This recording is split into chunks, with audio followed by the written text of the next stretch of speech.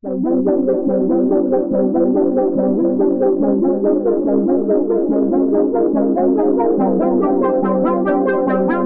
is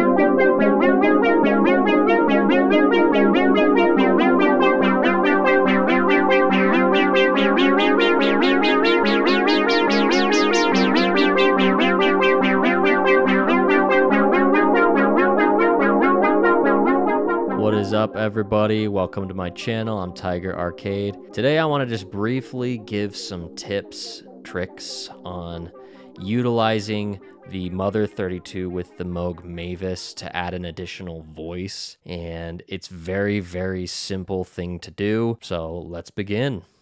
All right, so what I've got here again is the Mother 32 right here, the Moog Mavis right here.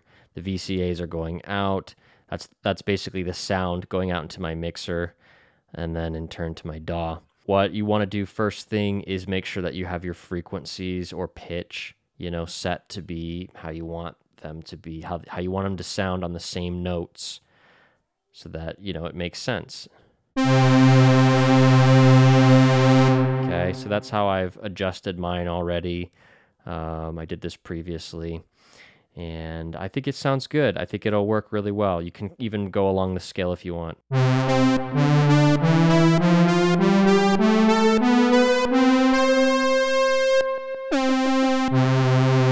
Cool, I like it. You can also set up other things so that it makes sense with the envelope generators, you know, your filter section as well.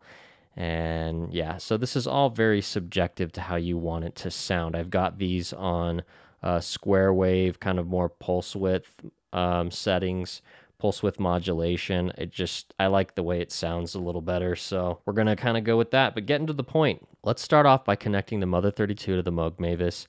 You're only going to need two patch cables to do this. Very, very simple.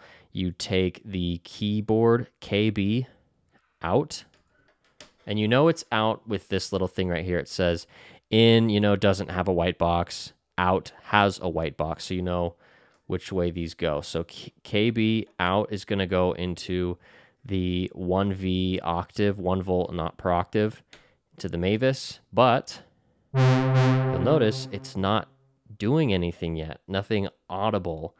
So you have to trigger it is what it's called. We'll use a gate. You use the gate out on the Mother 32 and uh, you can guess this one. You put it into the gate input on the Moog Mavis. Now when I play on this keyboard, it will control it here.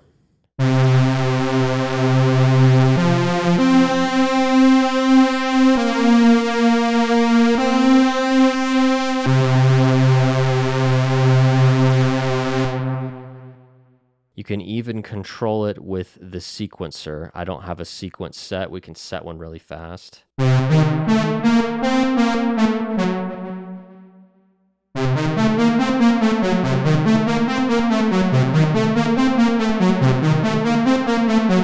Maybe not the best um, sequence, but hey, it's demonstrating my point here. Because if you notice, you're only hearing one voice. When you press here,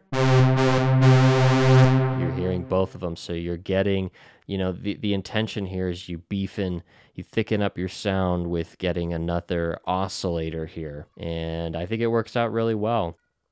Gate will, you know, trigger as soon as you're pressing this to say, hey, you need to uh, play a sound. But this says, the keyboard out says, what note, what note to play. Um, you can even uh, get some variety if you press like different notes on here. Like let's Press that if you notice now.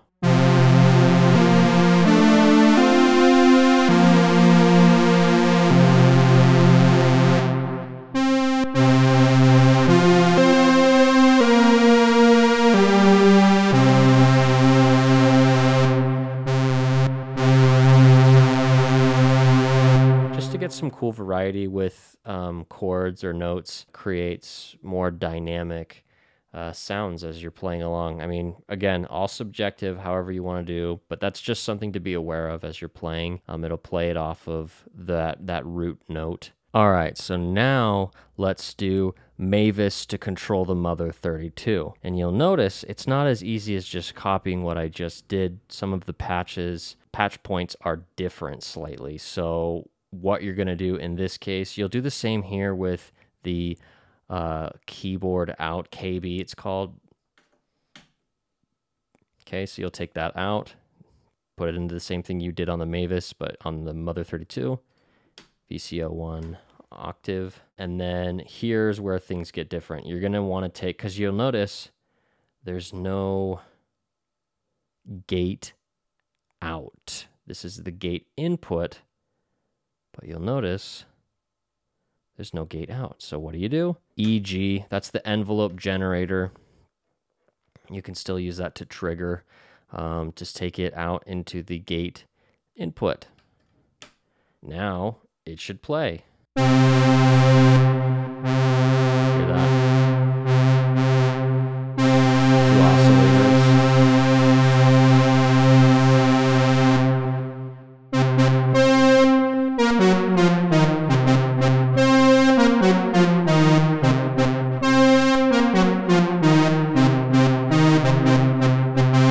It'll mm-hmm. also do it off of glide, which is cool.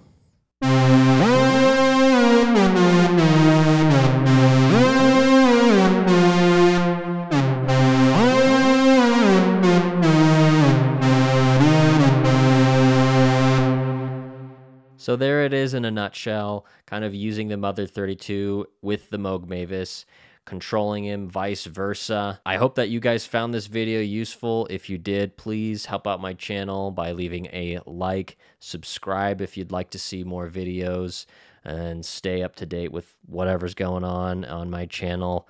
Um, I'm always down for video suggestions, so if you guys have some ideas, put it in the comment section below. If you're looking for these products, I always, always leave products in the description and they have links to where you can buy these products. They are um, links that I actually, you know, will benefit off of financially, but it's at no additional charge to you. It's just a way to support my channel if you do ever want anything here. Um, anyways, thanks for watching, you guys. Catch you next time. Peace. Thank you.